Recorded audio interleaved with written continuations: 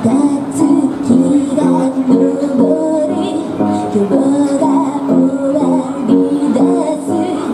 願い叶える言葉を飲み込む。まだ泣き出す。君はまだ大丈夫。片手で足元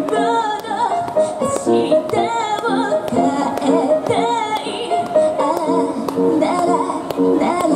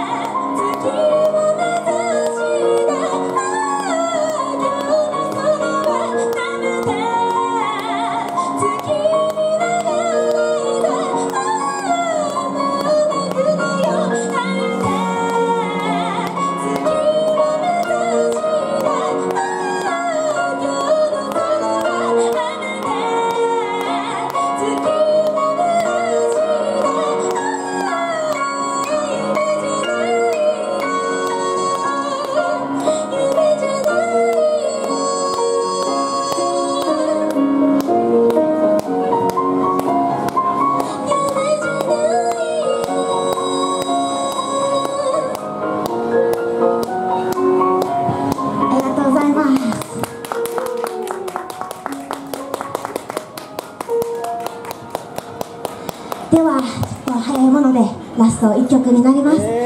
ありがとうございます。えっとこの曲はですね私の自分のモットーにしているような曲でこの曲ができた時は本当に自分自身にも言い聞かせるように応援歌として時にはこう泣きながら歌っていたりとかライブで歌っていたりとかしたんですけど今はこの歌を自分なりに飲み込んで次はこの歌をみんなに伝えられるようにそんな気持ちで歌っています聴いてください。リスタート。